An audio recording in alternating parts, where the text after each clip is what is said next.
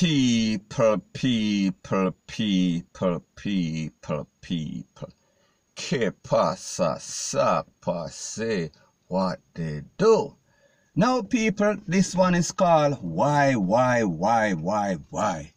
Why do I have to speak about Blue Royal and their mother, the vagabond, the tegareg, the liar, them, two of the liarest person in the history of social media? Again, once again. Now, people, I did maybe about three or four videos and I said to myself, I am getting tired. And when I did the first video, the court of public opinion spoke and they said that this girl is a liar. She was telling all sorts of lie. She is basically sick. She is a psychopath. Even though she made the man from the Bahamas look like he was some sort of stalker, some sort of person that was trying to take her out by hiring somebody to take her out. You understand? I am not speaking about a date. So the court of public opinion spoke even before they heard the person from Barbados were speaking about Jake. And then we saw that they basically this a blogger Triple X and they claimed that he was lying and he claimed that he was making up all sorts of story. However, people they were going back and forth on the internet and they are saying that he is bad man and he is making up story and he is basically hallucinating. However, Triple X basically drop a bomb on them. Triple X did a live on Instagram with Jake the man himself. We are speaking about words from the horse's mouth. And Jake spoke and Jake spoke eloquently and what was even worse or not in their favor is the fact that Jake was a soft-spoken person and Jake was trying to cover up for them before he was told that listen you have to give your side of the story. You have to basically spill the beans. And he did. He said everything. He said that he was supporting their habit. He was sending money to the mother through the daughter or through the daughter for the mother or whatever the case is. He was sending money to the two of them. So anyway, after that, I thought that it was a done deal. I thought that they were done and dusted. I thought that these persons would have basically with themselves like that dancer or basically go part down a Riverton we are talking about the dumb. However, people, it seems like the vagabonds, it seems like they were not done. It seems as if even with shame, they still came on social media last night and they did a live and people, to tell you the truth, I was surprised because after all the evidence that Jake proved, after all the receipts, after all the documentations, after any and everything that could prove his story was proven, I don't know what they were going to say. And people, they did exactly just as I thought. I thought that they were going to deflect from the fact. I thought that they were going to come on the social media and put on a show put on a parade, put on all sorts of deflection on people. That is exactly what they did. They tried to blame Triple X and said Triple X is the person that basically was telling the man exactly what to do. He was drilling the man to say this and people know H-O-M-O. I mean that he was asking him question and he wanted specific answers and the man was giving these specific answers. So now these two vagabond, these two liar, these two people where I don't even have words to explain, they are claiming that this man now Triple X is looking for some sort of relationship. He wants the man money. However, people, what they failed to do was prove or disprove whatever Jake had to say. They had no evidence, they had no receipt. So people, like I've always said, they realize that a lot of persons on social media, they are brainwashed. They are easily misled like some sheep. So therefore, if them come and put on some sort of show and were convincing enough, they would have convinced enough people to take them side. However, people, I think that their whole act, it was a failure. It was an epic failure. It only made them look even worse than they actually are. And people, when I speak about despicable, I am speaking about despicable. I have never seen a mother and daughter combination more despicable or more disgusting ever in any place in the world, not even in a, any sort of movie me talk about drama. These persons, this mother and daughter, Blue Royal or Blue Ivy or whatever her stripper name is, is very disgusting, point blank and period. So anyways, people, like I said, she tried to do a whole lot of deflecting. She tried to make it seem as if Triple X was basically talking with this man and they were trying to put up some sort of fraudulent story. She talked about Triple X big and sour. She was basically trying to shame the man. And like said, people, they did not commit any sort of evidence to prove that this man we are speaking about Jake from Jake from Barbados, he was lying. They could not do that. They could not provide the receipts, none at all.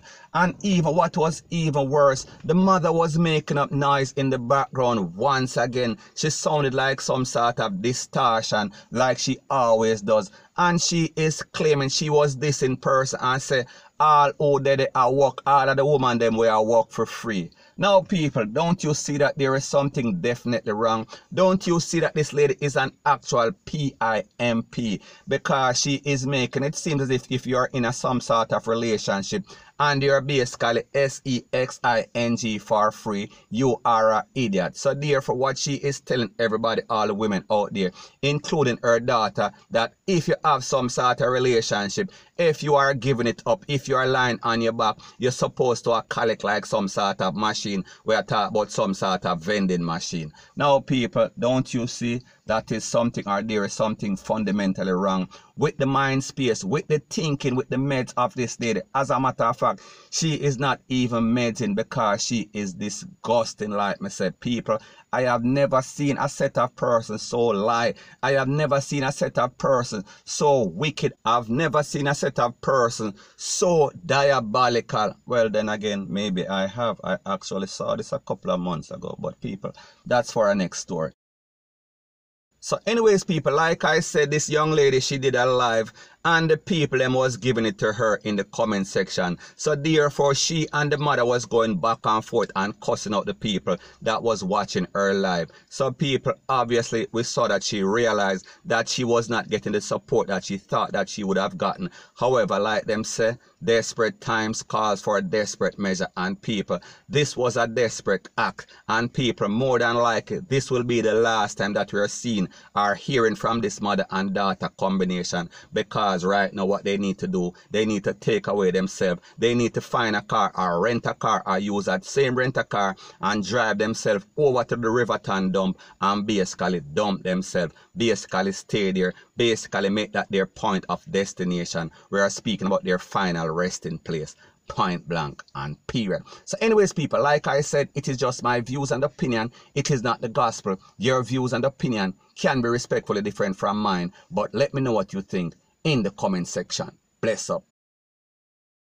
Now before I move to the next part of my video, please subscribe to my next channel. It is called Jamaica Dancehall Source. One word. I'll be pinning the link to that channel in the description of this video. And also, please subscribe to this channel. We're speaking about true Jamaica Buzz. And when you subscribe, please press the notification bell or icon. And also press all in the option. Now the next thing that is popping in the news is a lady that they slapped away, I think, yesterday at in Linstead and she works for the transport center. And people it was very bad. I think that she got at least seven pieces some in the melon some all over the upper body. So anyways people i am going to let you listen to a few voice notes and then i'm going to give my piece. Hey brother morning time morning time. You man from Bamboo named Millie where work at Transport Authority where they been killed two hours on them.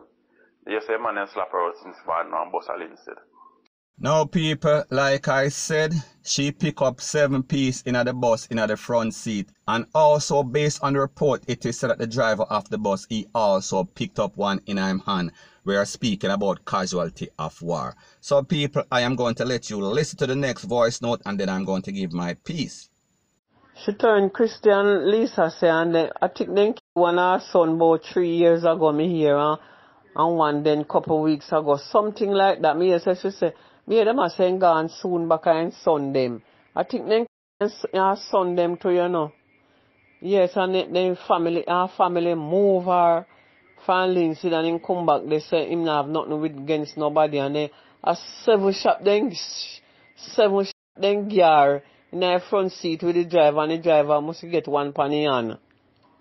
Now people like them say if it not go so, it goes something like so. And the truth and the fact is that her sons were also taken out. And based on the information that is out there, this is a family of troublemakers. We're speaking about her two sons. They were some set of persons that were out there creating all sorts of havoc. They were some violence producer. They were some slap away people. As a matter of fact, there was one incident that everybody in a Linstead know where they basically slapped with some family members and also burned down the house. And what was even more disgusting is that this lady, she was a lady, even though her son was creating, our sons were creating all sorts of havoc in the community, she would always back them. She would always give them their support, her support, sorry. So therefore, you know, so people did not really agree with that. But because the two son them was very bad, because them are some shatter, nobody never do her anything. However, maybe about a couple of years ago, back to back, them take with the two son them. And when me tell me talk about take with the two son them, may I talk about bring them go a mad. We are speaking about to the afterlife. So therefore, after that happened, this lady take care herself and she left Linstead and she went somewhere else. And apparently she turned Christian. She gave her life over to Christ. But people, based on information from persons living in Linstead, it is said that that lady's personality was so bitter, them don't even think that Christ can help her or can help her or should have helped her. So people, the moral of the story is this, and there's a saying that goes something like this. God helps those that help themselves. So therefore, if this lady was bitter, if she was an evil person and she went to church, she might have fooled her talk about the church congregation. However, she can't fool God if you believe in a God.